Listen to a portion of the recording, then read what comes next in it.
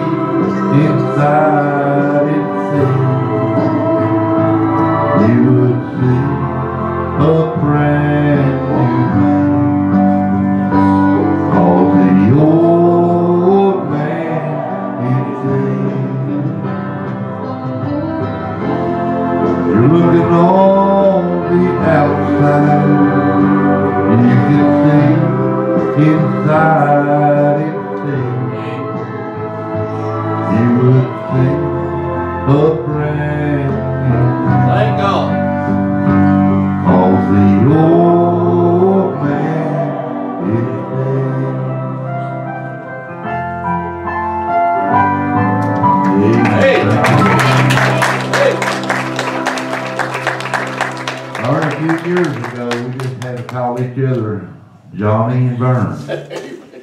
now we call each other brother. That's right. Amen. Hallelujah.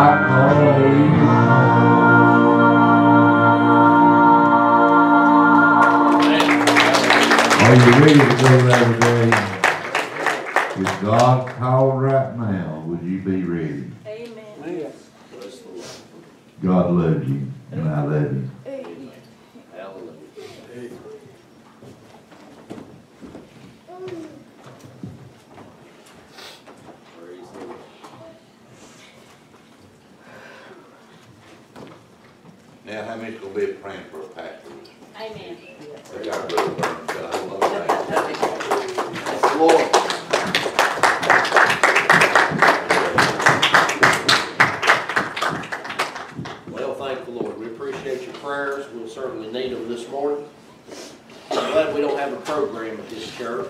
Amen. Let the Spirit lead and guide and move. I want you to know Jesus loves you this morning. I'm glad for the change He made in my life. And if you're here this morning and you're lost, Jesus Christ came, died, and rose again. And He can save you today if you'll trust in Him and believe in Him. How many can testify to, to that fact this morning? Amen. I bless His name for the glorious day that by His grace I was saved. And I want you to know if you're here and you're lost, you need Jesus. Amen.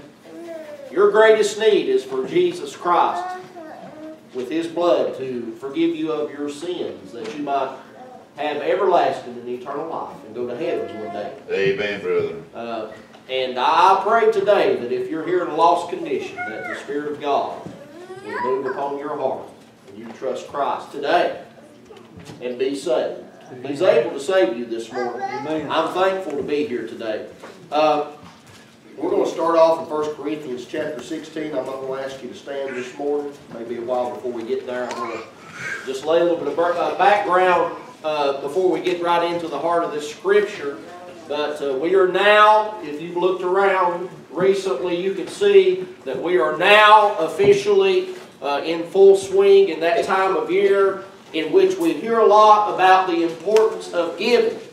Now, most of us have heard it said many times that it is better to give than to receive. How many of you have heard that saying before? Amen. That it's more blessed to give or it's better to give than to receive. And these are things that we know as adults, but these are things that adults will often try to teach children uh, because we've arrived at the place in our life where we know and understand that it truly is better to give than to receive. I mean, I've come to the place in my life, and I've been there for years now, where I love to be able to be a blessing to somebody else by giving. Amen. It just makes me feel good Amen. on those rare occasions when I'm able to bless someone else, but if I'm the recipient of someone else's blessing, and if I'm the recipient of someone else's giving,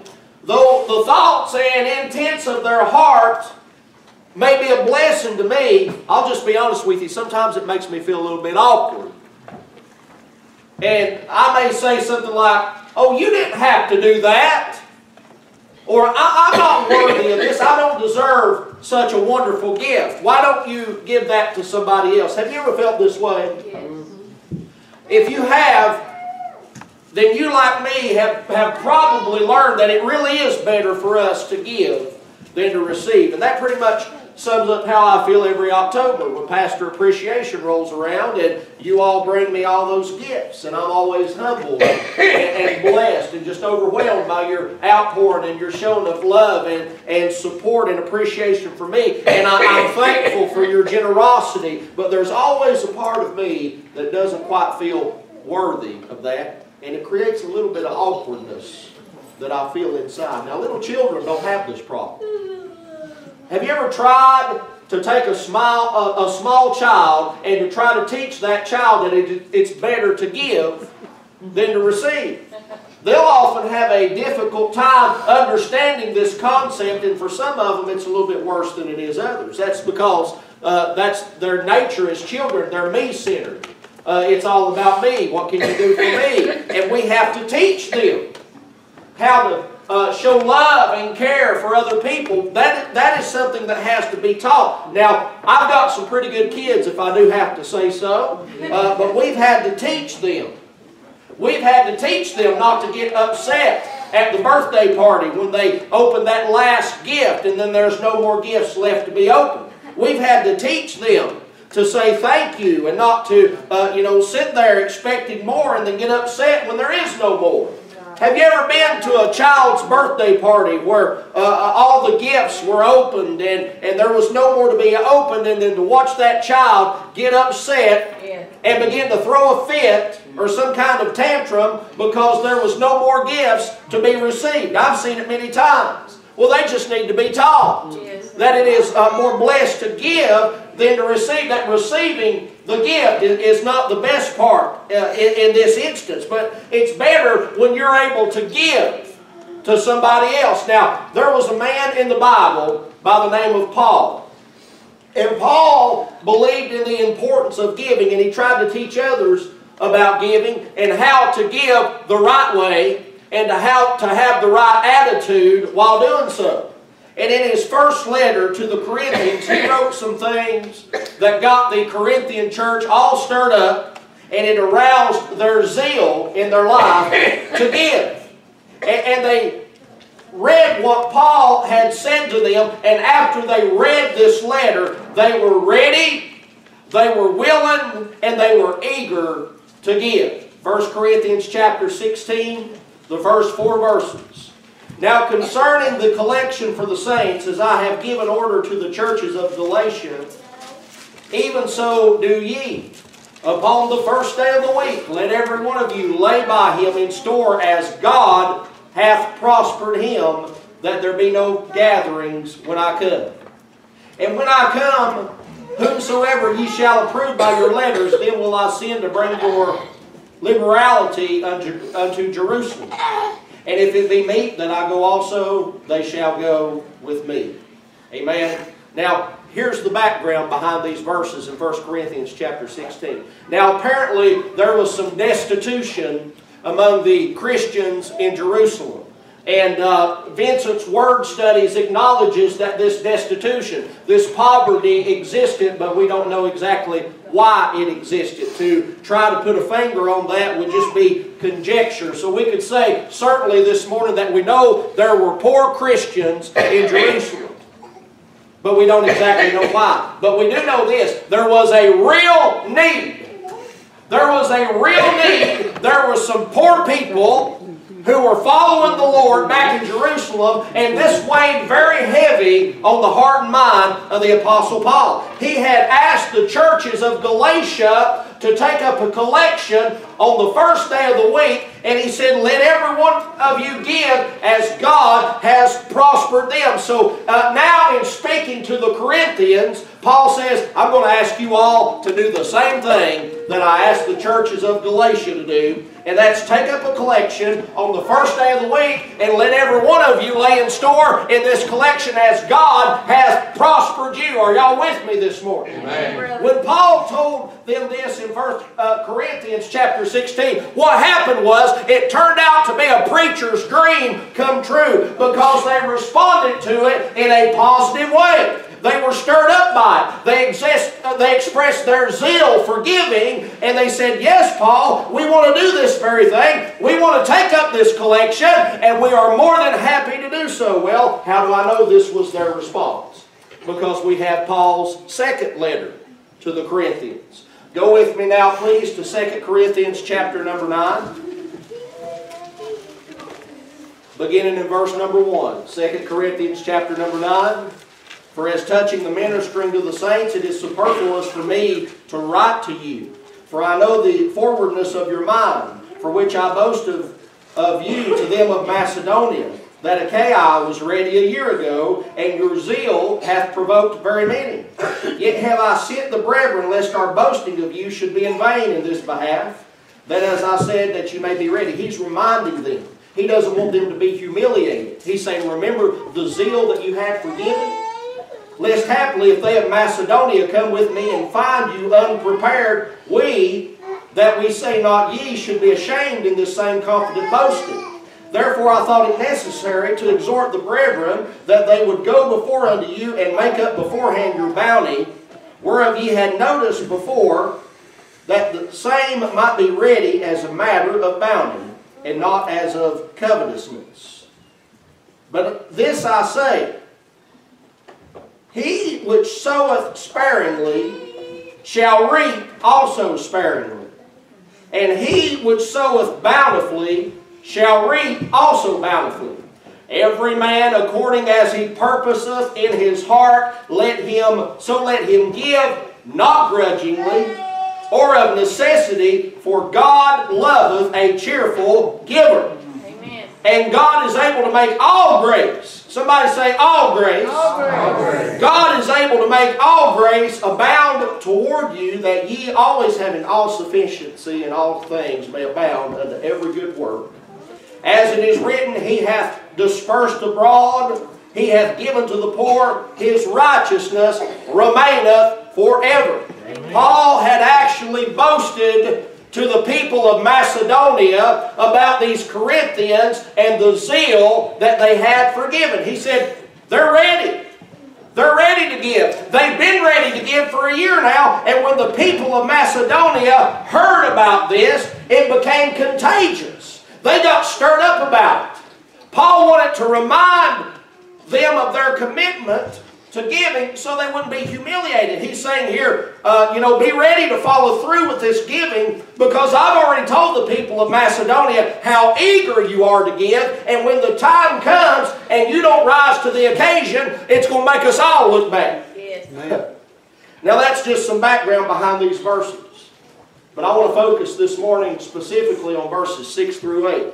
And the message that I'm bringing this morning, if you'll pray, is seven truths for the cheerful giver. Seven truths for the cheerful giver. I hope you're ready. If you're writing things down, we've got seven of these, so I'm going to go through them quickly this morning. First of all, all this is coming right out of the Bible. First of all, if you sow sparingly, you're going to reap sparingly. Amen? Amen. If you sow sparingly, you'll reap spar- sparingly. Well, that, that's just talking about being downright stingy. You say, Pastor, we already know this. This, this is too simple. Then why is it that every time we pass the offering plate here at this church, we still have many people who just want to drop their dollar bill in and they refuse to honor God with the first fruits of their increase? I mean, God has been good to you. Yes, he has. God has given you a job. God provides for you on a daily basis, but you refuse to give back to God because you're stingy. Bless him, God. Friends, that is not God's best for your life. Or maybe it's because you don't trust God to pay your light bill, so you want to try to hold on to that tangible money, and then when the plate passes by, uh, and you'll you'll drop your dollar bill in, uh, uh, and you're not honoring God proportionately with the increase that He's given you. Now you're telling God you don't trust Him. Now I want to tell you this morning that this wasn't intended to be a message when I got started on this about the collection plate passing by. I didn't intend for it to be that way. But this is where the Word of God is taking us this morning, so I'm going to follow the Lord. Preach it, brother. Amen? Because God wants you to know this morning that a lack of giving shows a lack of living. Amen. Now, you'll never know a fully blessed Christian life until you learn to give like God expects you to give. your life will be vain, your life will be empty, as it is for everyone who honors not the Lord and obeys not God's word. A lack of giving shows a lack of living. And a lack of giving shows a lack of loving. So many people are reaping sparingly because they lack that love and they lack that compassion for their fellow man. And that stands in the way of, of their sowing bountifully. There were poor and impoverished Christians in Jerusalem. Now, this is the direct context of the scripture.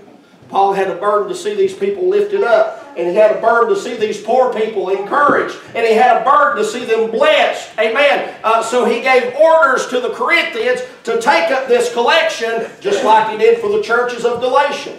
And as far as I've studied, the Corinthian church had many problems, but I, I studied uh, long and hard on this this week, trying to find any indication that this Corinthian church that had so many problems, I wanted to know if they followed through with this pledge to give. I've not been able to find anything in the Bible or in any commentary that I've read that would indicate to me that they backed out of this. We know they had a lot of problems. I read one commentator that said, despite all of their flaws and shortcomings, that the Apostle Paul saw this good in them and he wanted to use this quality to lift them up. You know, we've got a lot of poor people around here that could really use some help today. All the churches in Kingsport put together aren't enough to meet the people, to meet the needs of the people that are poor and destitute in this area.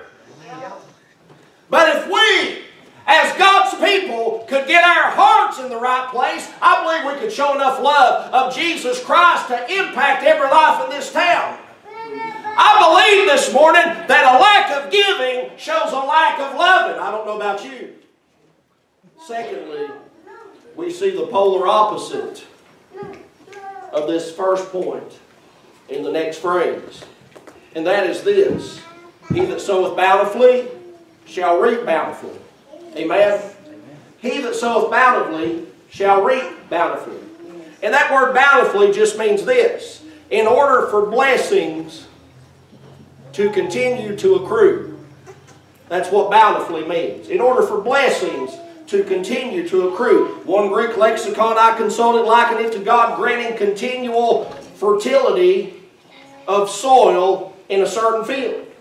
Here it's used specifically of the blessings of Christian people sent to their brethren. They sowed bountifully.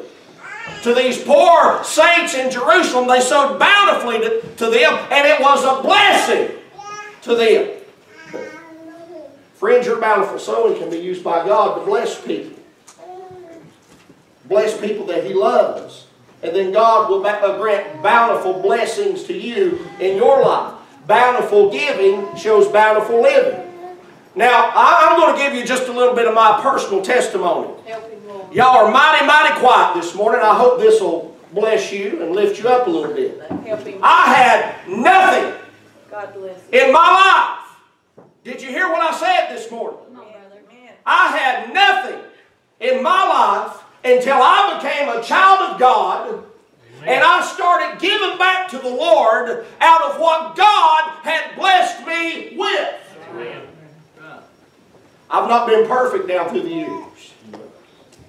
But the fact that I have a house to live in today and the fact that I have a roof over my head this morning, I attribute that directly to the wondrous blessings of God, uh, directly uh, uh, because of these verses right here attributed in my life. If it wasn't for the Lord this morning, I wouldn't have a home to live in. Amen. And many people today do not. That's right. Bless him, So I'm thankful to God who's blessed me bountifully with blessings that continue to accrue. He's blessed me bountifully with fields that continue to be fertile.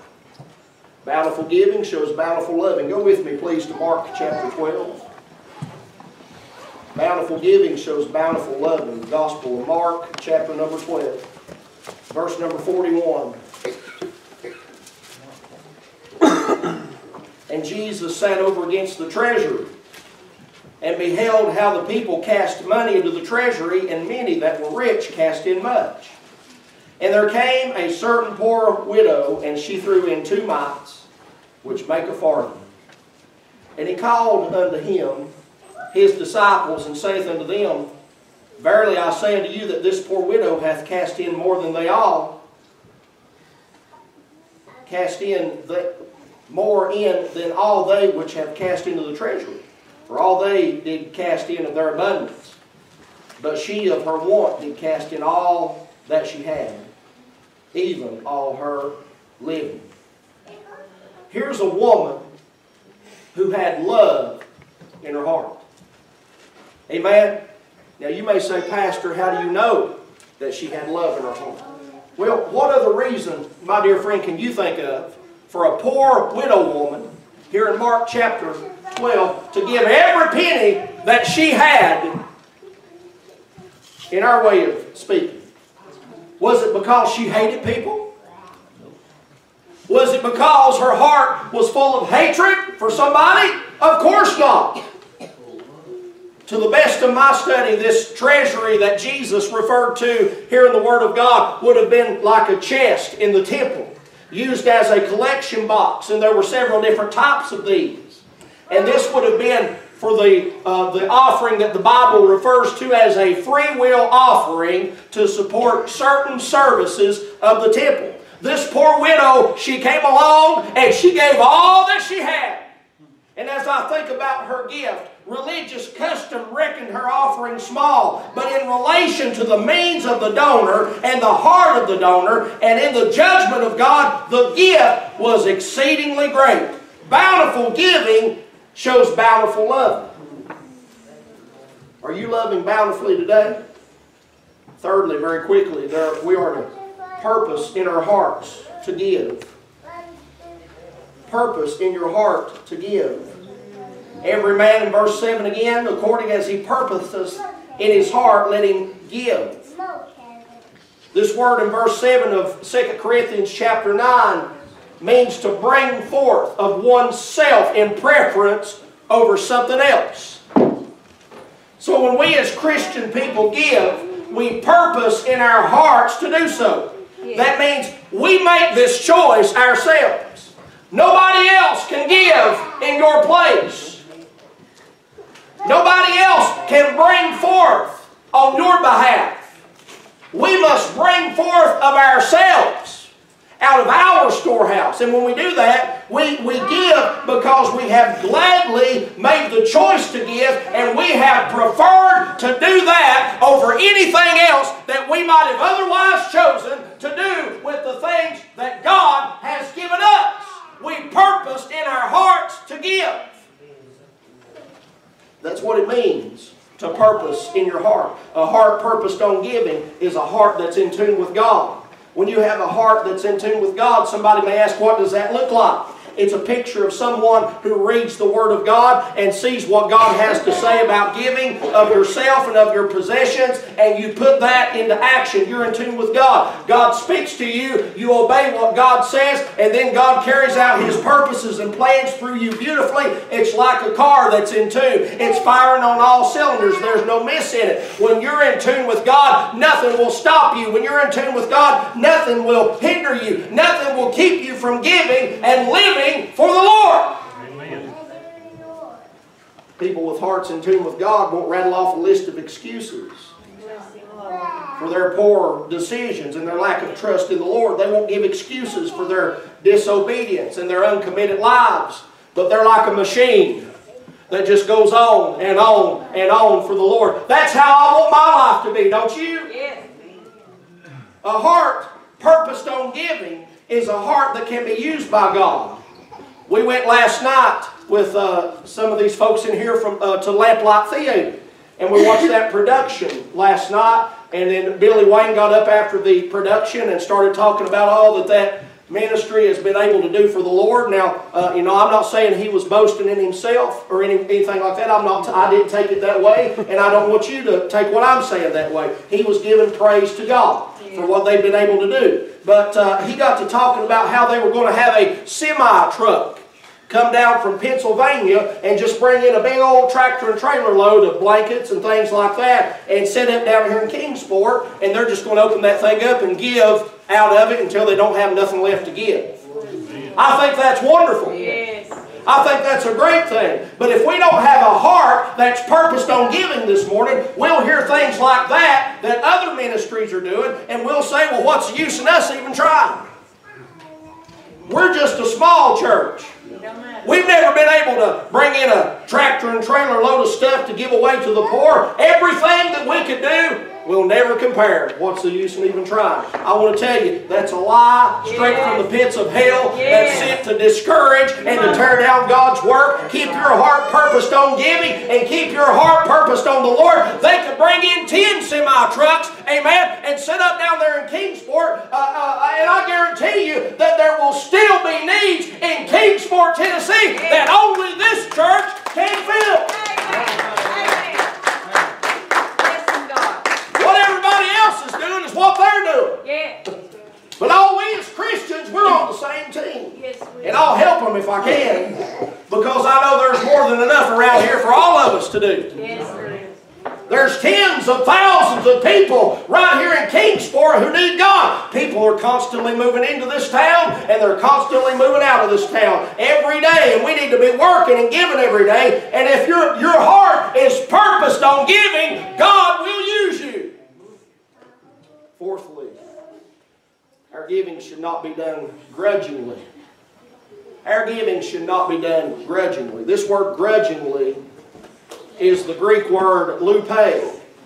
It's used of the Bible uh, to speak of sorrow and pain and sadness and people who are in mourning. Have you ever known any givers that meet that description? Yeah. Have you ever just noticed, maybe been sitting in a church service minding your own business and you notice the offering plate go by and somebody dropped their dollar bill, bill in and they just look like they're mourning the death of a loved one. Well, Ralph, what's the matter? Did you lose a loved one? yeah, I did. His name was George. George Washington. Don't let your giving be like that. Don't let your giving bring you sorrow and pain and sadness.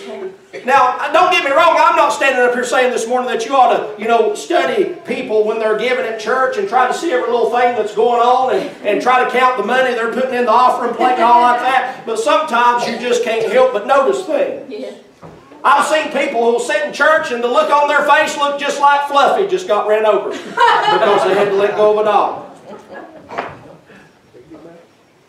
In specific reference to this verse, one definition of this word grudgingly that I found, it said this, with a sour and a reluctant heart. Giving done grudgingly, grudgingly is with a sour and a reluctant heart. It's done with sorrow. Amen. Don't be like that. Don't be like that. Giving done grudgingly does not reflect God. God didn't give grudgingly, did He? No, He didn't give grudgingly. The Bible said that He so loved the world that He gave His only begotten Son, that whosoever believeth in Him should not perish but have everlasting life. Oh, I'm thankful He wasn't a grudging giver. He was ready and willing to give because He loves us. The Bible also tells us that we have a Heavenly Father who knows how to give good gifts Amen. unto His children. If we're going to live lives that reflect the character of God, we need to give without grudging because that's what God does for us. Fifthly, our giving should not be done out of necessity. Now, giving out of necessity speaks of people who give because it has been imposed upon them by the external condition of things or a law of duty in regard to, to one's advantage, custom, or argument. In other words, you're just giving because you feel obligated to. You feel like it's your duty to give, so you do it. It doesn't necessarily bring you grief, but you really don't enjoy it. You're just fulfilling your obligations. You see, that's giving out of necessity. God said in His Word through His inspired writer, the Apostle Paul, don't let your giving be like this. Do not give out of necessity. Giving out of necessity shows a vain and an empty heart. When you give, your heart's got to be in it. Yes, Christian people should have a sense of duty. Yes, you should feel a sense of obligation. But your sense of duty and obligation is not a distress to you, but it's a joy to you. Paul felt a sense of duty and obligation, amen, uh, in the Word of God. Or the writer Jude, rather, said in, in verse 3 in Jude, It was needful for me to write unto you and exhort you that ye should earnestly contend for the faith. That word needful in Jude verse 3 is the same word translated necessity in these verses we have before us this morning. The word needful, Paul felt it was his duty. Or the writer, I keep saying Paul, but Jude here in the Word of God felt it, it was his duty to write unto these people and exhort them to earnestly contend for the faith. God says, don't let your giving be done out of necessity. One commentator said those who give out of necessity do it like it's pulling eye teeth. Another said they give out of necessity because they don't know how to refuse. The implication here is if they knew how to refuse, then they would refuse to give. But they don't know how to refuse. Don't do it just because you feel obligated to do it. Do it because you're happy about it. Amen. Why? because God loveth a cheerful giver. God loveth a cheerful giver. That's truth number six this morning. This is speaking of a merry giver with a merry heart, one who is prompt and one who is willing to give. The Greek word for cheerful here is uh, hilaros. That's where we get our word hilarious from. Now be careful here because there are Bible scholars who are split down the middle on whether or not we can take hilarious and transliterate that into this meaning right here. Some say you can, some say you can't. But I want to tell you one thing I know for sure. It's talking about somebody who gives with a merry heart. They're happy. They're happy to give. They're a cheerful giver. They're merry about it. God loves a cheerful giver. That's what the Bible said. But think about it. Really, doesn't everybody love a cheerful giver? Yes, amen. We all love a cheerful giver. Who doesn't? And the Bible never said that God loves the one who gives grudgingly. It never said that God loves the one who gives out of necessity. Now, I'm not telling you he does or he doesn't. I'm just saying it specifically says here in the Word of God that God loveth a cheerful giver. It's the only type of giver that says that God loves them here in these verses. A cheerful giver is someone who is in order with the system that revolves around the cross of Jesus Christ. Nobody will ever be able to earn their salvation. Your salvation comes to you this morning as a result of the grace of God that's given to undeserving people. Any giver who says that they're a Christian and they're not a cheerful giver, that person is out of line with God's plan and God's law of redemption that we are placed under by His grace this morning. A cheerful giver is one who gives in proportion to his resources. This ain't talking about you making $1,000 a week, bringing home $1,000, and then you're cheer- cheerful about dropping a five spot in the offering plate. It's talking about the one who's cheerful and giving in proportion to how God's blessed you. Yes. Give proportionately and be happy to do so. Again, now we could talk for a long time this morning about giving of yourselves and giving of your time and all these other type of giving that somebody may be sitting there wondering why is he not mentioning that? Because this is the specific context of these scriptures this morning. Taking up a collection for the poor saints of God back here in Jerusalem, so that's what we're looking at. We're just talking about what the Bible's talking about this morning.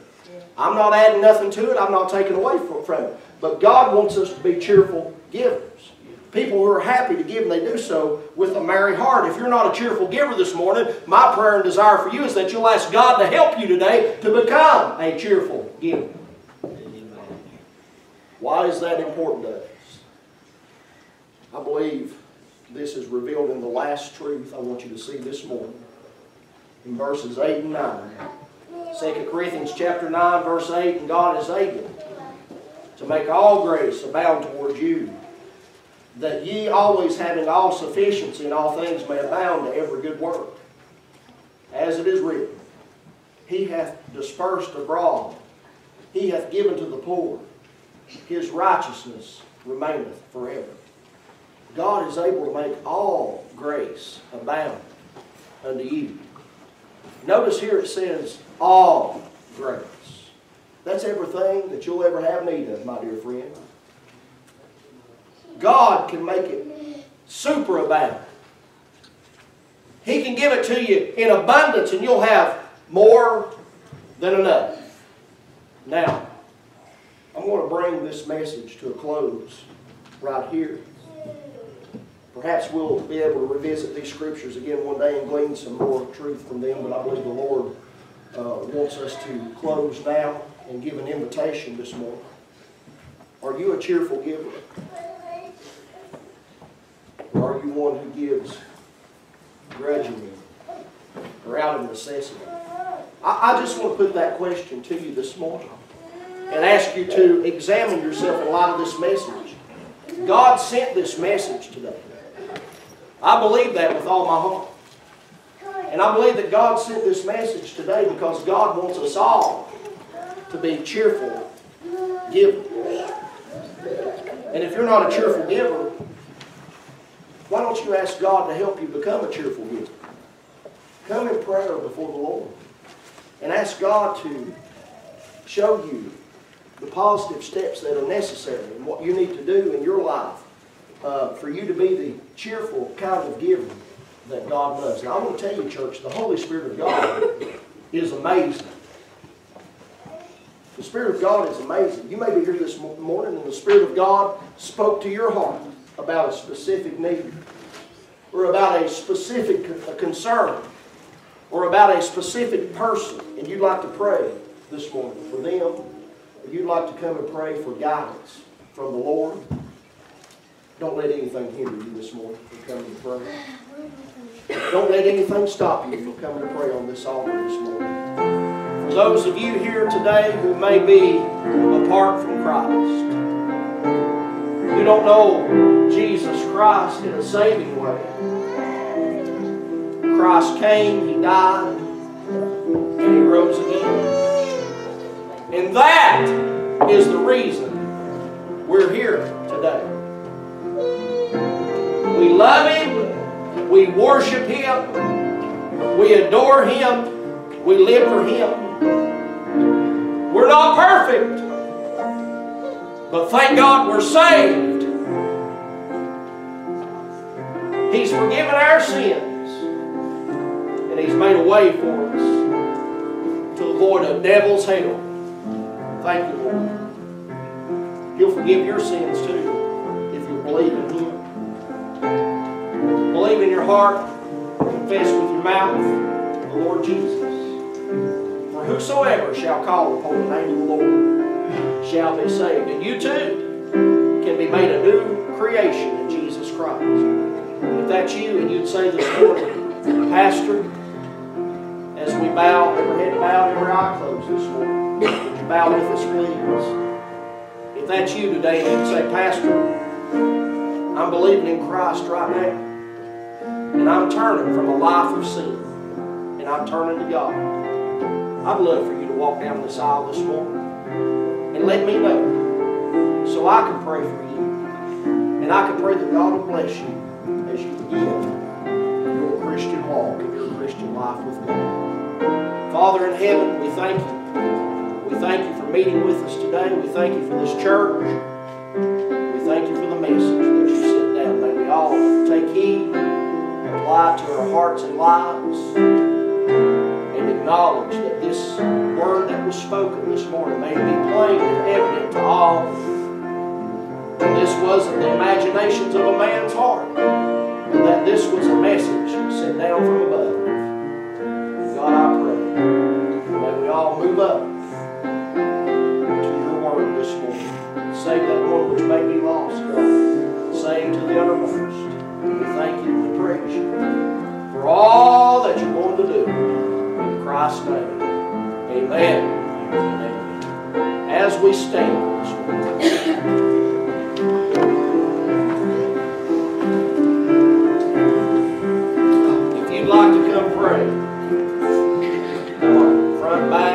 right, all right. Would you come?